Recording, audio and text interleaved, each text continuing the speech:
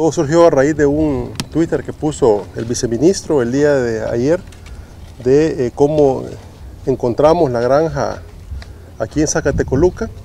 Y eh, para que tengan ustedes un dato, solo aquí la administración anterior invirtió 22 millones de dólares.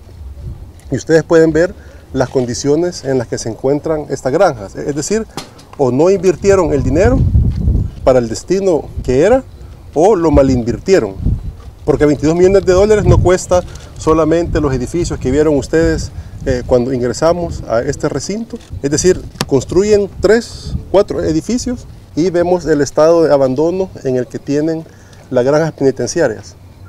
Ahora lo que nosotros queremos es que las granjas penitenciarias se conviertan en verdaderos centros de abasto para la eh, preparación de la alimentación de los privados de libertad. Y el mensaje propio para todos los privados de libertad es, para todo aquel privado de libertad que se someta, que continúe y siga las reglas de orden, control y disciplina en los centros penitenciarios, se le van a dar los programas necesarios, los programas generales y los programas específicos que necesita su tratamiento.